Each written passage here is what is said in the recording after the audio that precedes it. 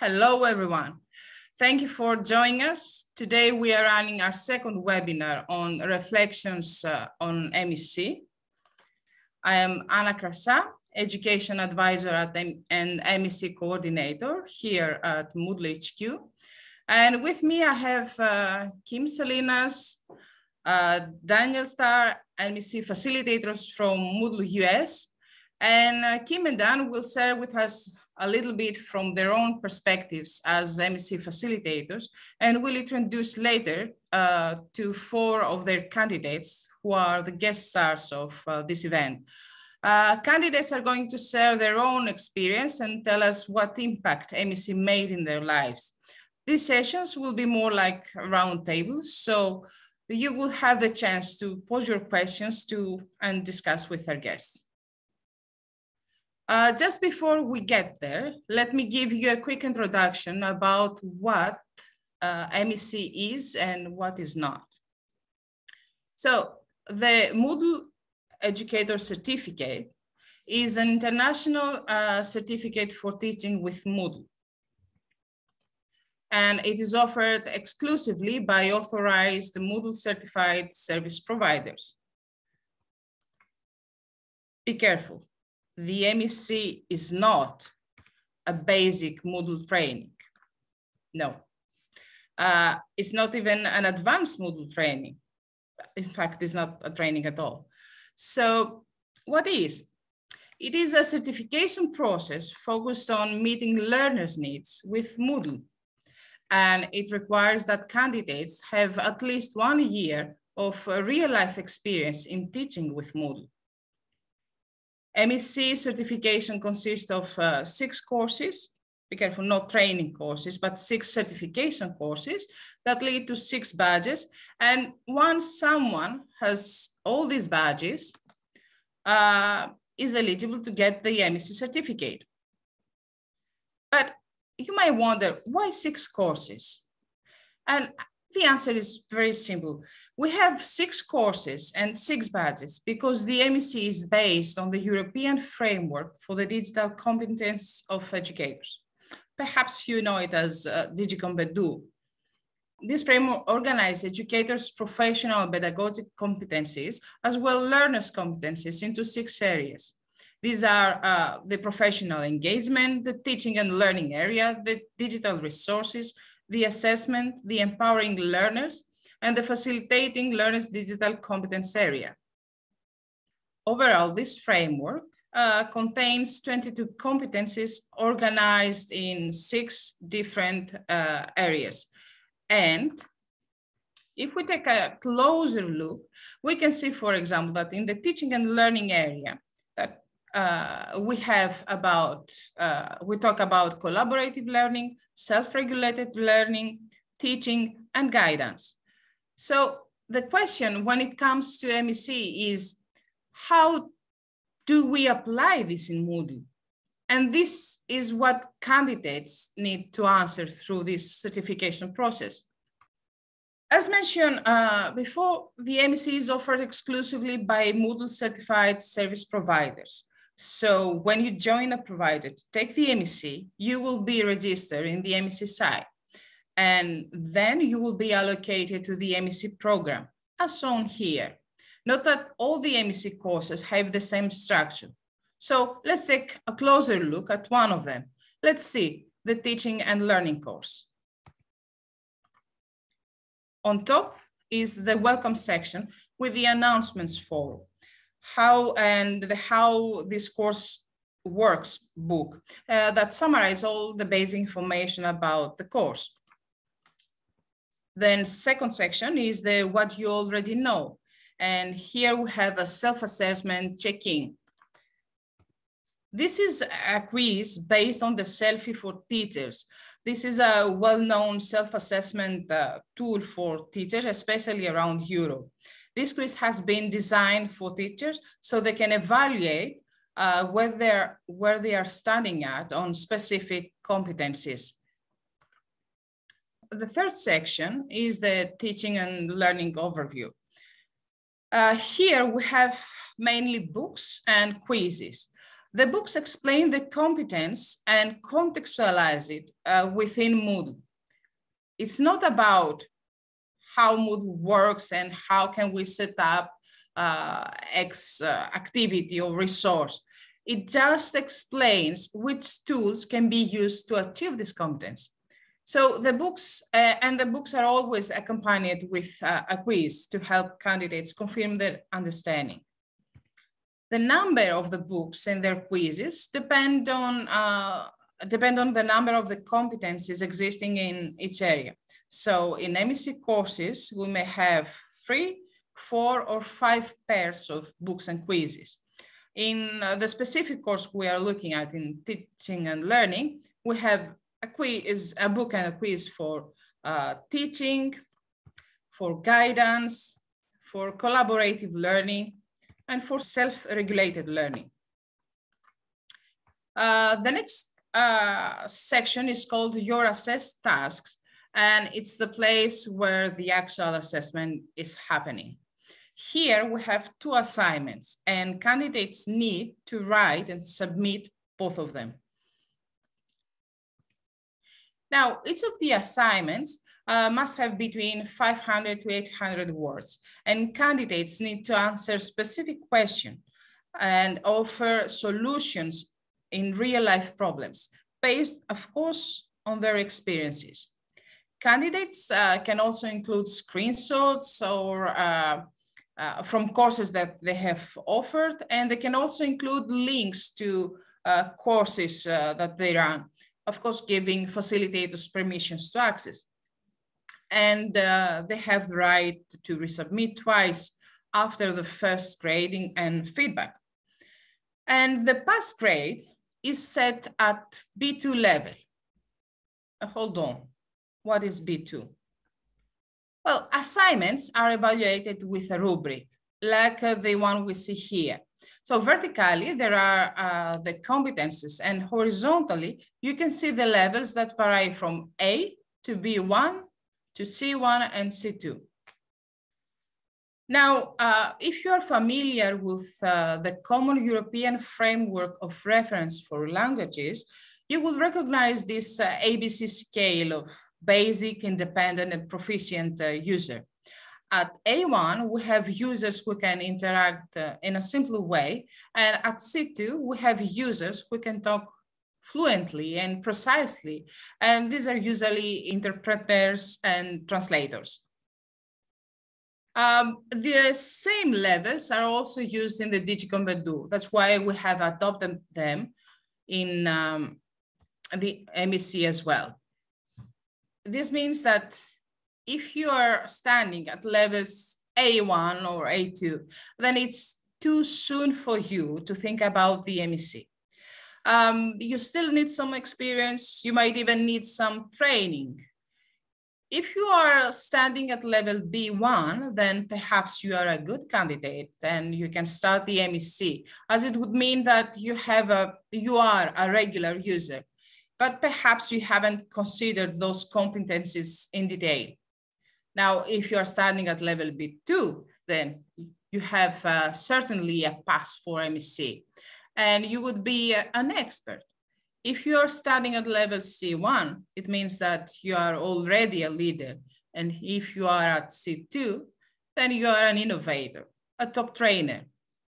Last not least, before I leave the floor to our guests, I would like to inform you that uh, MEC is already offered in seven different languages. Despite English, it's fully translated in Spanish, French, Portuguese, Chinese, Japanese, and Arabic. And there are more translations to come, such as Catalan and German. And it is very easy to take MEC in any of these languages because all you have to do as soon as you log in into the system is to change the system uh, language from the drop-down menu on top of the page. You change the system language and this action will result to the change of languages, both of the system and the content. And that's all from me for now. so I'm uh, leaving the floor to our facilitators and uh, their lovely guests Kirk, Ramon, Diane, and Tim And um, Dan, Kim, the floor is all yours.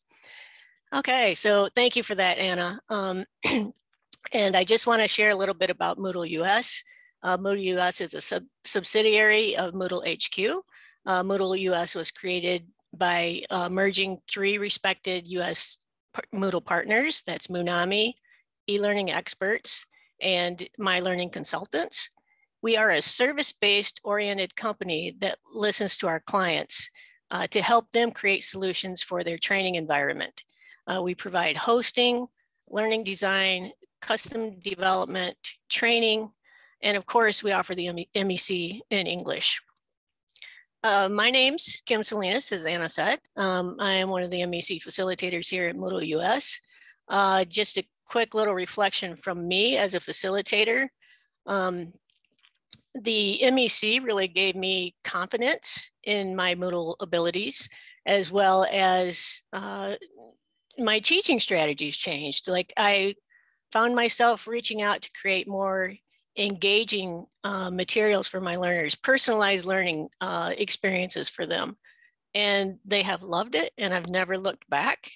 Uh, also earning the MEC, I was able to um, become a facilitator. So it's changed my career path a little bit. So uh, that's a little bit about my reflection. Um, and I think we got Dan next. My name's Dan Starr. Uh, my career was as a school superintendent and I learned Moodle uh, when I was asked to teach in a in a master's and in a doctoral program. So the uh, to say that I've learned from people like Ramon and Tim is not an understatement. The uh, I've learned a lot from them and appreciate that that learning and that knowledge. But it also helps facilitate because they set the bar high for people who have come after them. So that's where I'm at let's take a quick look at who our guests are. We have Kirk. Kirk, would you like to share a word? I think uh, I'm honored to be here. First of all, it's nice to uh, be in a group like this. So I really appreciate the opportunity. So welcome from Atlanta. Nice and chilly here. Um, and look forward to hearing from other folks. Hello, everybody. Uh, Ramon Villa here. I live in Virginia Beach, Virginia. Um, I'm humbled and honored uh, to be here to, uh, to, share my experience with you. Um, like the screen says, I am an instructional designer for a consulting firm. Uh, we both work uh, commercial and government markets here in the in the United States and abroad.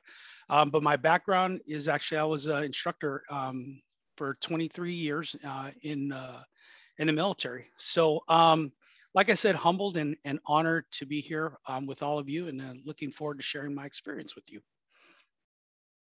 Hi, everyone. Um, I'm Diane Knudsen, and I'm also very honored to be part of your group today. Uh, I'm an instructional systems specialist for the U.S. Fish and Wildlife Service, which is a federal government agency. And um, I look forward to talking with all of you and learning from you. Thanks. Good morning. I'm Tim Cargill, and again, it's a pleasure to be with you all this morning. I started working with Moodle about 15 years ago uh, as a university professor, and for the last decade have been serving with the Presbyterian Church at the national level, uh, where I provide support to those who are preparing for ministry. And we've been using uh, Moodle as part of our professional certification program uh, for about 10 years now. Thank you so much for the quick introduction. And actually, I'm going to stop share now and we start with uh, the questions. The floor is to uh, over to uh, our beloved uh, facilitators and uh, dear guests. All right. Well, um, I'd like to first ask, uh, thank you all for being here, number one. So we really appreciate your representation. Um, as our MEC candidate, so and our successful ones at that. So uh, we have all learned from you, and we're anxious to hear uh, what you feel about the MEC. So um, if you could share a little bit about what was challenging for you um, within the the content, like the quizzes, uh, the assigned task. What what what challenges did you have going through, if any? All right. Well, uh, the assessments, if you want to start there, um, assessments are intrinsically linked to the content. So I was relieved at that. it's always nice to, to have something to refer back to. I do a lot of work uh, in Atlanta public schools. Our Moodle is not geared toward the K-12 population. It's all human resources. So it's for about 4,000 people. But they are education oriented. So they always appreciate when the instruction gets back, assessment back to the instruction. But pertaining to the uh, the assessments, what I really liked about them is that they are real world scenarios. They're based on something that people are actually going to do and how you're actually going to use Moodle. So it's not a, this is the right answer. This is, of course, there's a right and wrong answer, but all of the answers, for example, on the assessments are valid answers. They're no dummy answers. It's just you have to find the answer that sort of directs your response in the right direction, depending on the scenario. So I do a lot of scenario based training here in HR with uh, Atlanta Public Schools. So that was refreshing and it's nice to see that sort of designing things that are contemporary and in line with adult learning. So the MEC is definitely in line with the adult learning, the real world scenario. That's how I benefited both learning and you know use the MEC as a model for how I might structure some learning in the future. Hi again, this is Ramon. So um, just to echo what Kirk said, um, just highly, highly recommend the the MEC. Um, you know, when we talk about the quizzes and the assessment, my experience was as an instructional designer who isn't necessarily on the platform, you know, all the time or currently, how do I design training? How do I think about it? How do I think about thinking about training uh, and and delivering a, uh, value-based um, education to our learners. So, you know, the quizzes and the essays, I think the most challenging thing was the unexpected.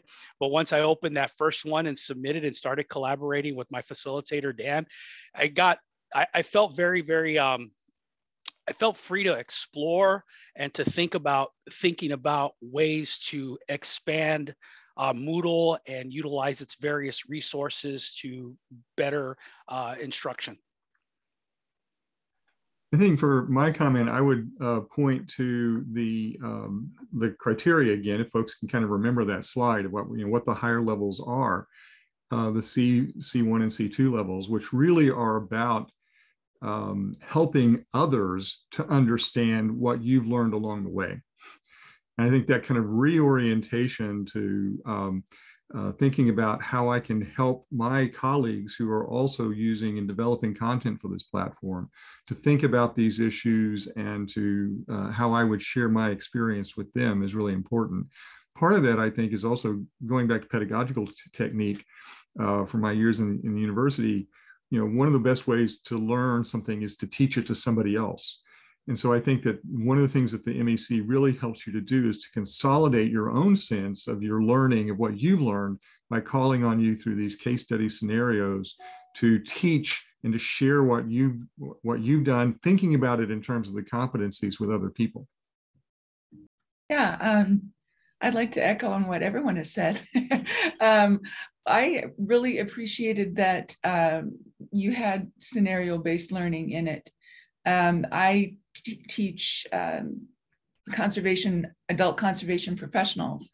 And so what I found was that some of the scenarios provided were things that I had not necessarily encountered before um, because they just teach adults. Uh, but it gave me the opportunity um, to explore and uh, and really think about how I would apply them myself and also to how I would um, teach others to apply them so I I very much appreciated that, and um, I I really enjoyed the whole experience.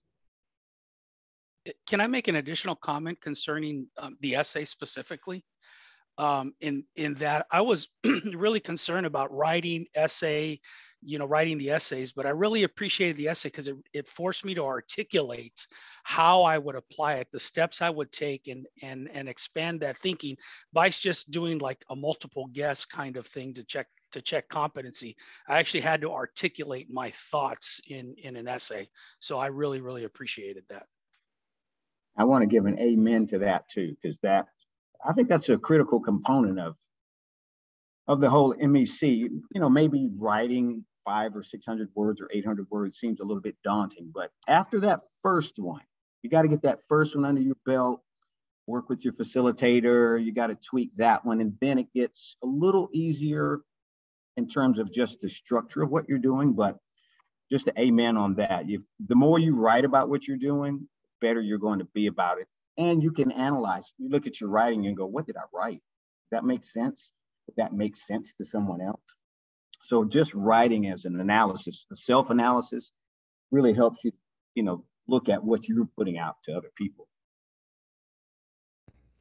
So Kirk, while we have you right here, um, did you find the content beneficial, like the, the resources and things like that? Was that beneficial to what you're doing? Yeah, absolutely. For two things, uh, the interface was very simple. You don't have a lot of things to press, not a bobbles and all that kind of stuff. It's just a very simple interface that allows you to concentrate on the content. Content's displayed in a book, a couple of graphics. So the minimalism I thought was refreshing to me because you're on the web all the time. You see all this content flying around, but the MEC is really straightforward, a couple of images and a lot of time, uh, a lot of emphasis on processing the reading. Read it, process it, and think. So that's what I appreciated about the content. I guess we'll kind of go in a little bit of an order here. So yeah, um, Kirk is absolutely right. I thought, you know, and, and this is with all the Moodle courses that are out there. I mean, a snapshot of what you need, not a whole lot of blah blah blah. You know, here's here's the content, here's what you need, here's the essence, the heart and soul of of the activity uh, or whatever we're talking about. Um, I really like the design of the course that it was linear. You know, I could checklist you know things off as I was going. So I I was um, tracking my own progress, which is some things you learn as you get started on Moodle about monitoring your progress. Um, and then all the all the elements in there really really were targeted towards those competencies that were in in the previous slides of this presentation.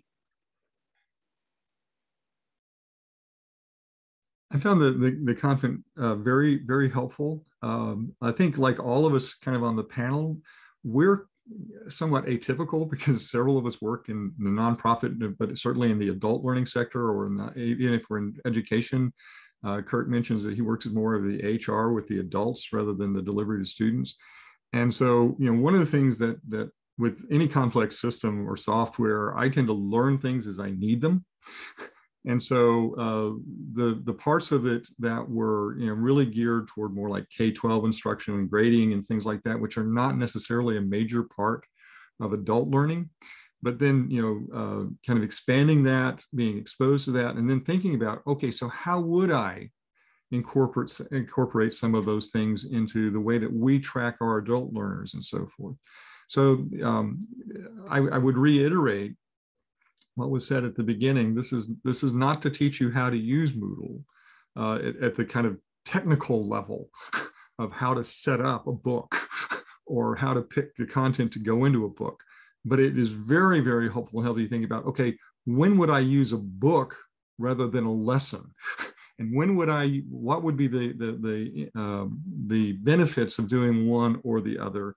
And uh, the content really helps you to kind of begin to think about it at that level and to think about uh, have I kind of fallen into ruts in relying on one or two activities that I'm really, you know, I've gotten more comfortable with. And uh, would I be able to help my learners by expanding the types of activities that I'm including in the course and maybe using those activities in some, in some different kinds of ways? by going last, I get to be the, the summarizer and always say, I reiterate what everybody said. Um, but I appreciated the, the design of the course as well, because it models good design in Moodle. And um, the content was great, it's very streamlined. Um, I think Kirk mentioned that, that there's not this extra fluffy stuff that you have to go through. You get exactly what you need, but then that frees you up to be able to think um, and see how you would apply it yourself. So um, I found all that very helpful. And, um, you know, just you were modeling what you were, you know, wanting us to do as well. And um, I really appreciated that. And Kim, can I say one more thing about that course? Sure. Because like, yeah, we all have limited time. So I would do most of, I mean, it, you're going to spend some time on this. It's not going to be anything easy, but the course was cool because my wife, you know, I got to go to the mall with her. I got to spend time with my son, son on the weekend. So I can take my iPad or my phone, either one, and the course is just going to display perfectly on either one. So I'm in the mall, I'm sitting in the women's shoe section, and I'm cool. I'm just sitting there. I can do my course right there. I don't need a laptop. I don't, need a big device, but I can still concentrate on the content, please my wife, and please my son. I can still, you can still stay active. The thing is mobile. So I, I just want to, I want to, um, I want to say something about that aspect of the course because we're all short on time. Kirk, you are the penultimate family man. yeah. Diane, since you set yourself up to go first on the, the next one, how has your instruction changed? I would um, kind of echo what uh, Tim had said that um, I think more about um, how others could use the materials that I'm presenting in the course. Um, I, am kind of going to jump ahead a little bit. Our our distance learning branch is going through a visioning um, series of visioning meetings right now because we're getting new upper management and we're thinking about what we could be. And I think our role will be more to help in uh, our course leader development. And some of the, I was looking back through some of my assignments um, yesterday. And one of the assignment in particular, I think that I'm going to use um, if we're allowed to go in the direction that I would like us to go in. um, so did did that kind of answer in a roundabout way what you were looking for? Absolutely, because there are no wrong answers. I think that uh, one of the things that uh, I've kind of alluded to and is that you know when, in doing these exercises and thinking about because a lot of there are several of the of the assignments that you write where um, someone comes to you for help with developing a course. And so you've got to really kind of step outside and think about okay what what advice would I give to this person? But it helped me to kind of then so uh, if I would give this advice to somebody else am I following it am I doing the things that I would be advising this person to do? Uh, and uh, as uh, uh, Diane was just mentioning, you know, one of the things because you know, though I'm in a leadership position, I also report to people, and you know, part of it is also kind of prodding them uh, to kind of take advantage of some of the flexibility. So, for example, we have in uh, one of our courses, we're training people to prepare to take a professional assessment. We give them some sample quizzes and so forth and you know I would really like to take that that question base and randomize it so it generates a fresh quiz every time. And so if somebody could come back to it and do it, but I'm getting some resistance from the people that I work with. But you know, again, kind of learning and thinking about you know how to make these things the most effective to others, uh, and that the focus isn't necessarily on you know what we would want as the content deliverers but what would be most effective to helping the learners get the end result that we're hoping for them to get. So from my perspective i'm going to think i'm going to kind of wrap it around one of the um, comments in the chats from uh, from christian um, asking about so no matter what medium you are university uh, corporate whatever does the mec uh, fit well? Yes it, I, I believe it does. Uh, because like we've always we've all been talking this whole time taking the mec gets you thinking about thinking about ways to apply moodle in the different environments. So whether I'm with, you know, a corporate environment talking about financial management, well, I start thinking about, well, how do I, how does the design of this course or what the content I'm going to put in and the different, you know, um, activities that I'm going to utilize to deliver the message. But then I can also go down to, you know, the elementary school age and, and think about how simple I want to make that course design. And I'm speaking from an instructional design perspective here, but everybody um, does it on some on some level. Um, the other thing is, is from what I've experienced um, after taking this course, uh, how my instruction has changed, uh, particularly my position is I came back with that MEC I let people know what it was. And, and all of a sudden it was like poof, I became the subject matter expert in my institution for the MEC. So all these questions started getting funneled my way of can Moodle do this? Can Moodle do that? And the answer most likely is yes, not only can Moodle do this for you, but the way we're doing it now, if you would do it the Moodle way, you'd save yourself a lot of money too. I guess let me I guess let me expand on that since since it seems like there was a just a brief flow is there's a lot of things that get outsourced to create instructional um, instructional uh, content you know whether that be SCORM packaging SCORM wrapping stuff that's you know coded and digitally designed and you know but can i if i have a simple powerpoint slide do i have to outsource that into a powerpoint SCORM wrap presentation, or can I just take that PowerPoint? This is the thinking about thinking about Moodle.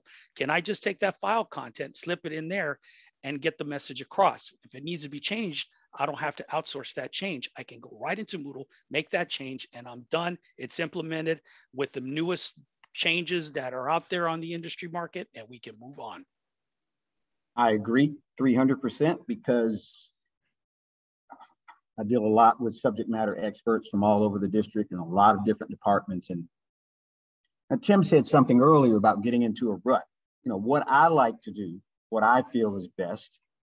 Well, the MEC was really good at saying, hey, Kirk, that's cool that you like to do that, but are there a couple of other things that other people might like to do? And I deal in SCORM. I mean, that's my bread and butter.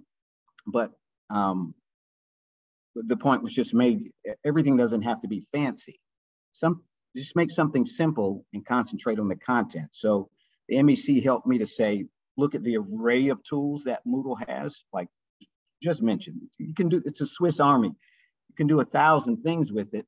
But what are the three or four most important things that are going to get your point across? So it, cutting down on a whole bunch of stuff and figuring out what is going to get the point across. And I think MEC helped me, I mean, a lot in that. Keep things simple. Just keep it simple, get the point across. I think just real quickly to follow up on that point, uh, Kirk, I think that one of the things that was helpful for me is though I've, I've had some training in other settings in instructional design and online instructional design, I was a professor for 20 years. Um, just the competency structure itself, the things that it highlighted, you know, are you thinking about what's the level of digital competency that the user would have to have to navigate this? Mm-hmm. How do I help to in, incorporate into what I'm doing increasing their digital literacy and their digital competency along the way? And so just that competency structure itself um, provided a kind of way of ordering and thinking about some things that I may have been doing for a very long time. But it said, okay, yeah, okay, that's that's the principle there. I, I need to give that some focused attention and not just hope it happens along the way as a kind of accident. Kirk, I like your comment. Kirk? Yes, yes. Okay, I liked your comment about uh, how that how you worked with teachers on that. I've seen too many teachers who were presenters but not teachers because they didn't do that check for understanding. They didn't do that engagement piece. And in so many instances, using Moodle to present and as their LMS presenting information would have alleviated that problem. And the bigger problem is they didn't even realize that that's what they were doing. Mm-hmm. It's like one of the one of the assigned tasks was about a history teacher that was lecture oriented. And I think we've all suffered through those people and learned from them in a way. But Moodle kind of makes that a very archaic way of, of instruction. So I like your comment, Ken Kirk. Thank you. And also on that, we have to realize that from a digital standpoint, we're you know we have so much competition. There's the plethora of digital platforms out there, and everybody's vying for that time. So you know the more responsive we can make our content using simpler platforms. Sometimes simple is better. I'm not saying Moodle is simple. Of course, it can do a billion things, but sometimes just concentrating, you know, as Tim said, what is that? What is that most important thing? let's just get to that uh, and, and respond to learners in that in that way. What can learners already do? What is their digital competency? That's, that's another great point. And, and meeting them where they are, because they're wanting to learn how to present stuff too.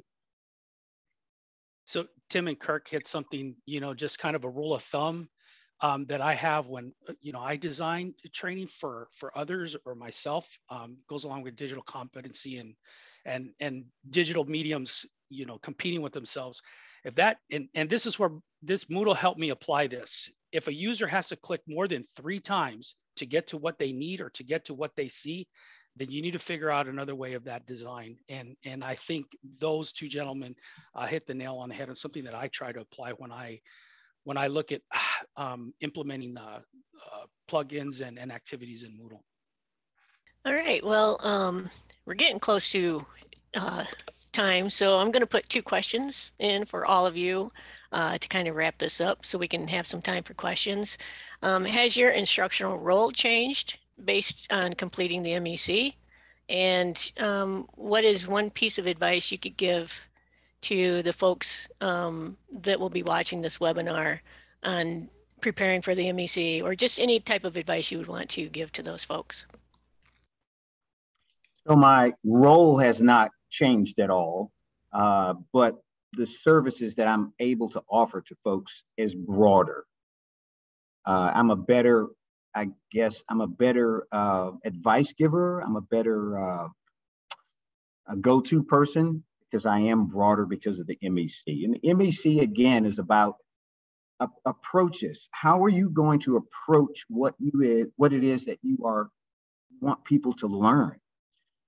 So using uh, for me particularly, uh, forums, groups, wikis, the collaborative tools. That's where I really, really um, picked up a lot of stuff from the MEC, how to use those tools.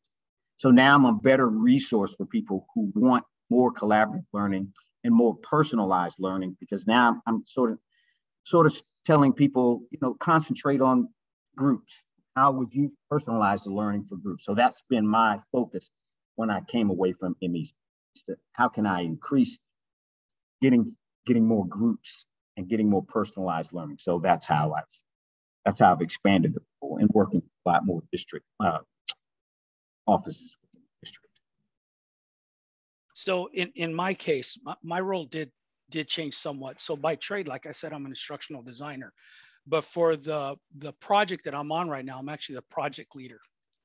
However, they asked me to start exploring as a project leader this thing called Moodle, and I did the MEC, and therefore, not only project leader, I became, like I said, I guess the SME, the subject matter expert for Moodle for our institution. So that has been a that has been a blessing in, in that. Um, part of being that, uh, the uh, the one thing it has changed is um, it's allowed me to help others think about ways to apply Moodle in in different in different ways. Um, you know, we may have an old platform that we're using and we try to fit it into the Moodle box. And I typically say, well, no, don't try to fit it in. You know, let's let's expand our thinking of different ways that we could utilize these Moodle things other than just the way we've always been using our, our older product. So that's been a big help. Um, if there was any advice that I could give anybody, um, is through the MEC, I was a little apprehensive at, at first because I didn't know um, what the expectations were. But I just want to let everyone know that your facilitators are there to help you uh, mm-hmm. get through it, that it is very open and free. I know uh, Dan, uh, Dan uh, with me, he was very, uh, uh, he was, communication happened within some, sometimes hours of my question. And I really appreciated that because my that that just told me that Dan valued my time, and when I had a question, he knew I needed it answered uh, right away. So those facilitators are there to assist you, and and they'll get you they'll get you through it. They'll get you through it. And uh, if I can do it, you can do it as well. Thanks, Ramon. The check is in the mail. as far as my role having changed, um, I'm kind of in the same boat with Kirk. Uh, no, um, my role hasn't changed, but I think um, doing the MEC gave me additional cre- credibility. Um, I was previously our uh, Moodle administrator for the Fish and Wildlife Service.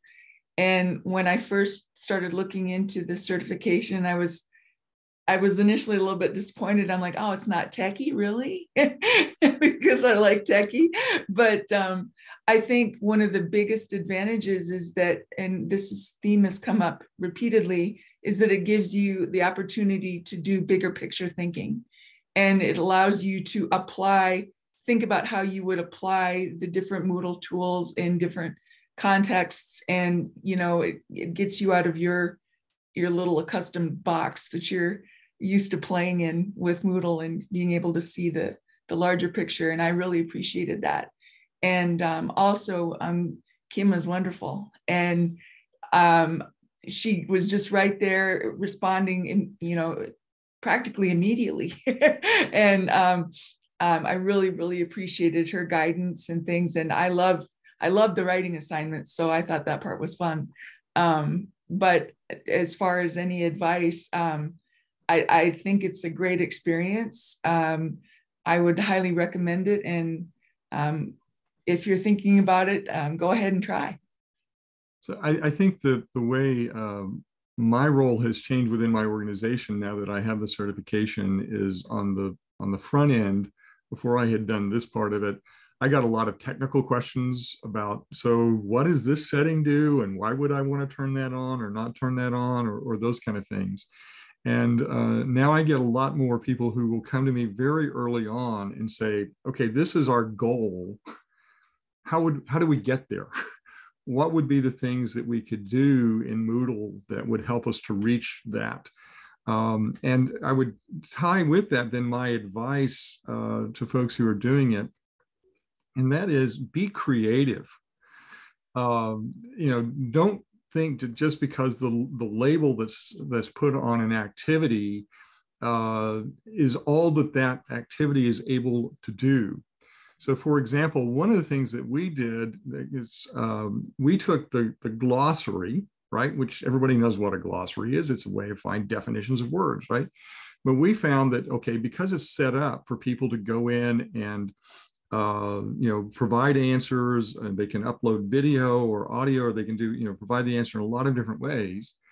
We turned it into where the glossary entries were their names. and we use it as a tool for them to introduce themselves to other people. So they put their name in as the, as the term, and then they upload a video to kind of introduce themselves to the people they're doing.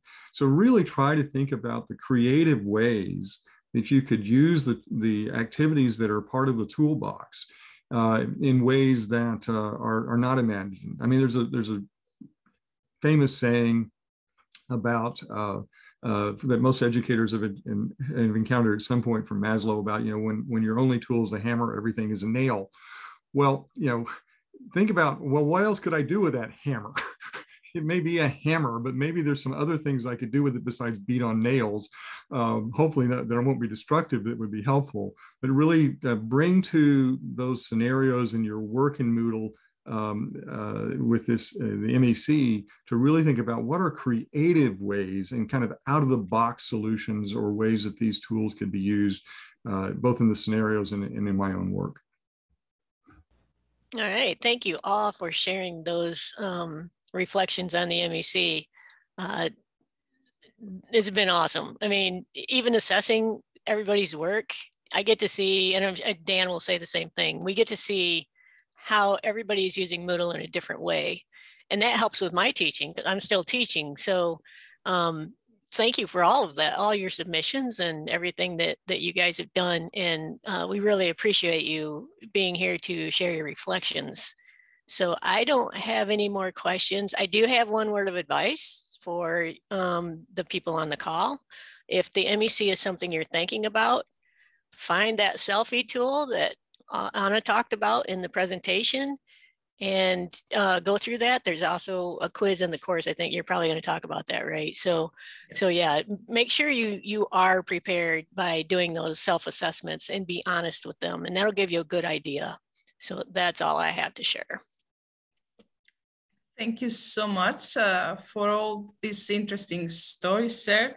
Um, I've been around in, I've been involved in Moodle certification for quite a long time. And I have to say, I have, I need to echo what uh, Kim said that we learn from uh, candidates. I think we are uh, highly benefited from uh, the assignments and the inputs. Um, if you if you keep uh, your mind open, you can you, you consider all these submissions like a pool of full of fish, full of ideas uh, that are waiting for you. We have some um, notes and uh, comments and questions in the chat, so let me go through them. Um, as uh, already mentioned, and this has been addressed uh, by uh, Ramon, Christian says that, so regardless if I am a university or school teacher or trainer for adults learning in a corporate environment, this course helps me applying best practice. Uh, it's not a course, it's a certification process. And yes, it doesn't matter uh, where you use, uh, in what environment you use Moodle. Um, the books contain uh, case, um, case uh, studies and uh, from every every environment that Moodle can be used, starting from uh, nursery schools to um, agencies and corporate environments, uh, including everything. So even if uh, all the uh, case studies don't um, fit to your context, I believe that it's a eye-opening to see how um, the same activity that you use can be used in another environment. Always uh, in MEC, the focus is on the context because whatever choice you make must be meaningful for your audience, must be meaningful uh, for the environment that you work. Uh, continuing with uh, Mustafa, I think MEC is a good idea to develop and promote Moodle and good alternative to what we have now like uh, MCE. Um, I'm not sure what MCE stands for. Uh, so, but uh, yes, although the idea to behind the MEC is not exactly to promote Moodle, is to uh, promote and support Moodle's vision, which is empower educators and uh, MEC is um, working directly towards uh, this direction. We have some more uh, points. Oops.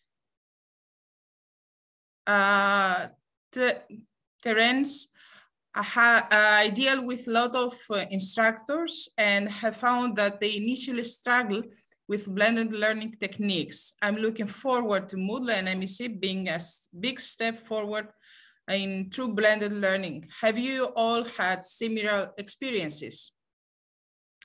Would you like to answer? Kirk, I think you want to comment? The blended, of course, with COVID, blended learning has come to the fore. My advice is to take one or two things learn those things well before branching out into other areas. And I'm K through 12 during the day most of the time. And then afterwards, it's adult learners. Sometimes there's no difference. But um, learn one or two things well in the blended learning arena and then branch out to some other things. Because if, you don't, well, i I'll shut up there. Learn one or two things well. I've had some experience with uh, the blended learning as well. Um, and it, it really ends up being, once you expose your instructors to the capabilities of, of Moodle, um, even on a very basic level, they'll get it. They'll get it. I mean, they've even talked about blended learning. Then they've even started incorporating and talking about flipped classroom methods as well. So, I mean, it is it is uh, highly effective, um, and and it's a time saver as well for your training or your coursework. Yep. I actually began using uh, Moodle at, for blended blended setting. So uh, I started using it about 15 years ago when I was in uh, university professor position, and there were things that I couldn't do in the classroom that I needed that I wanted to be able to augment, and so that's where I started with Moodle. And so really, again, thinking about how it can do, provide the tools. One of the, the key concepts in the MEC is this idea about the self-guided learner. So how do you take uh, that Moodle as a tool to provide those options and those opportunities for self-guided learning that can augment what's going on in the in-person setting. So yes, it will, the, both the course and the tool are very uh, apropos to these blended settings and the, and the challenges that they raise. If I could just add to that, I, I uh, encountered the same thing with some of our instructors and I found what helped is if um, you can show them like adult learners like examples. Um, if you could show them examples of courses and po possibilities and things that they could do and do like Kirk said, you know, try one or two things and get them started slowly, then once they get dip their toe in, then then they'll be fine. So, um, but if you have a, a, variety of examples to show them to see how they can um, apply blended learning techniques, it's useful excellent ideas from the experts now, officially. Um, do we have, uh, would you like to ask something uh, more? Would you like to uh, share something? Well, I can share that uh, as a result of my experience, I've got two more uh, folks who are willing to sign up or shown a great interest in the MEC so that's growing things organically here within our district. And that's important because they've seen what I've done and I've talked positively about it. Uh, but it's no joke now. MEC is not a joke. It's, as Kim said, you're going to really want to be prepared for it. So take those assessments to see if you're ready. But, you know, encourage others around you because that's a big part of the uh, competencies. What are you doing for other people? What can you do to encourage digital competence from others around you? So I really like that organic aspect of MEC as well. Thank you all very much. So I'm gonna share quickly my screen once again. To wrap up, I have a question for everybody who's joining us today. Are you ready for the MEC? What do you think? You have you have heard uh, a lot of stories around it. You have heard how uh, impact uh, uh, other people's uh, professional um, lives. If you want to know uh, about the answer to this question, you may easily just check the quiz that is called pre-placement test in it's in um, uh, the Are You Ready for the MEC section in this same course that you join us from today. And uh, depending your score in this quiz, you will find guidelines on how to proceed. So you will know if you are ready to take the MEC right away and you just go to contact uh, a Moodle certified uh, service provider. Or if you need to come back at a later stage after getting some training from the academy or uh, from uh, our extended network of certified service providers and gain some knowledge more around and gain uh, about Moodle and gain, uh, most importantly, experience in teaching with Moodle. Uh, don't forget that uh, MEC is for experienced users. If you have enjoyed the session and Moodle Academy in general, you may consider getting involved further and help us grow by contributing to its development. Being in the Academy, you can be an active member. You can suggest topic ideas. What would you like us to cover in the future? You can uh, join the Get Involved course and make your own suggestions. You can ask the subject of your interest and vote for subjects that have been already suggested. You can also contribute to the webinars if you have particular skills and if you are expert on a subject and you have something interesting to say, just let us know. Note that the webinar uh, presenters will gain a presenter's badge from the Academy, and you can also contribute courses by sharing your expertise and continuing contributing to uh, course development. And this way you will gain a course builder badge. Uh, of course, please uh, help spread the word about the Academy and the MEC as well. Tell your friends and colleagues about the courses offered and lead to badges. Don't forget that uh, to take, uh, don't forget to take the uh, Are You Ready for the MEC quiz? And if you are ready, contact one of our partners and they will get you through the certification process. Thank you so much for being here today.